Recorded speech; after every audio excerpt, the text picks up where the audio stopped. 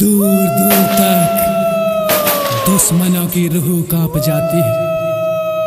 जब नाम सुनते हैं, पपला गुजर